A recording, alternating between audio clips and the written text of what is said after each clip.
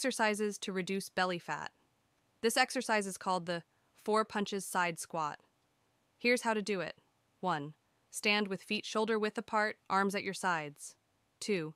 Simultaneously, punching each time with your right arm and your left arm, extending fully. 3. After the fourth punch, immediately shift your weight to your right foot. 4.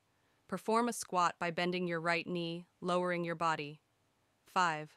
Simultaneously, raise your left leg to the side, keeping it straight. 6. Return to standing position, bringing your left leg back down. 7. Repeat the punching sequence, again with your left arm and your right arm. 8. Shift your weight to your left foot and squat, lifting your right leg to the side. 9. Continue alternating sides for desired repetitions for 5 minutes. 10.